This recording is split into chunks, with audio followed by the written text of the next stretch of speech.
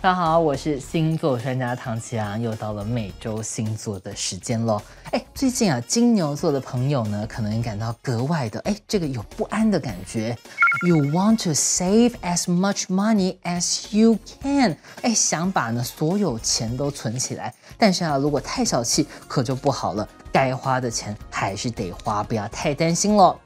As much money as，哎，这个是什么用法呢？不晓得啊，你有没有听过譬喻法？这个呢，像是它长得像大树一样高，它跑得跟花豹一样快。哎，这个什么一样，跟什么一样？英文里面呢，我们就可以用 as 什么 as 的用法喽。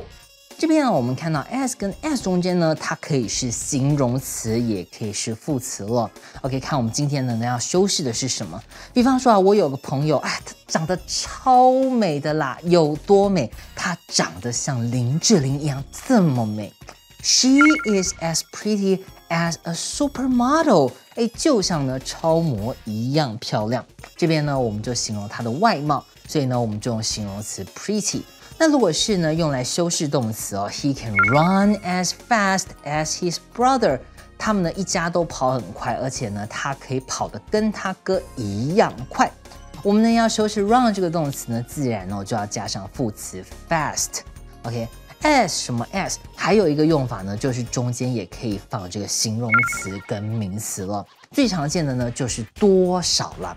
比方说啊，我跟我好友呢一起去 shopping，哎呀，买了好多衣服哦。She bought as many dresses as I did。哎，她买了跟我一样多的洋装。